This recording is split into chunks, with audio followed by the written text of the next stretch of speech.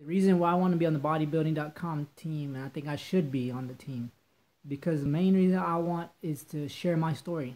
Uh, started bodybuilding about five years ago.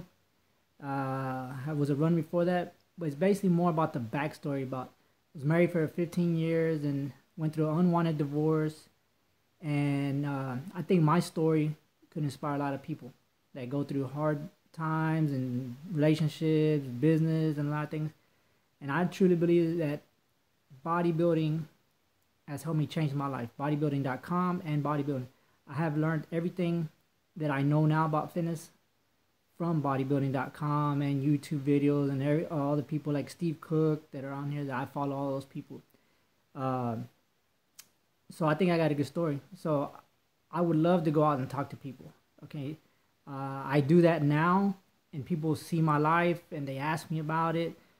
Sometimes they don't just ask about fitness; they want to know, well, how did you get through this heartbreak? How did you get through divorce? How do you do it to be a single father with two daughters, teenage daughters that live with you? They want to know all this stuff, and uh, I think it inspires people, uh, especially people that go through difficult times. So, um, would I say, oh, I got the best physique? No, but I can tell you one thing: I work harder than anybody I know. Okay, now I'm a softball dad, so I have two daughters that play softball. I'm a teacher. I work, and I do fitness. Uh, I go to church. So it's a lot of things that I think a lot of people do. A lot of times I feel like people make excuses sometimes. They think they cannot, maybe not excuse, but they think they cannot do this. And I think they could see me and say, you know what, if he could do it, I could do it. And that's what I want to do. I want to go, I would just love to go out and talk to people. You guys have a platform. Uh, and I think that would help my message get out more.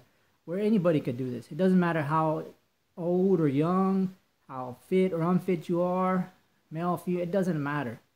Uh, if you want this bad enough, you could go out and do it. Okay.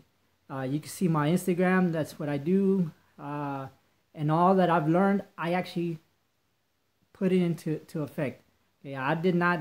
I've made a lot of mistakes in fitness, uh, but I've learned. Every time I make a mistake, I learn. I learn. I learn until finally, I now I can say I got a good system. I use a lot of um, uh, fit my macros, but I know about keto. I know about all this strength. I know about all this stuff because I've done it.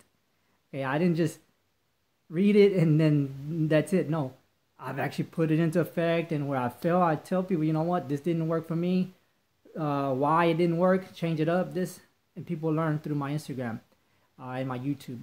So hopefully I consider me. I'm not the tallest. I may not be the leanest. Uh, not blue eyes, blonde hair. But you know what? Like I said, nobody will outwork me. And I would love to go out and talk to people uh, that are uh, on y'all's platform. Thanks. Hope y'all consider me.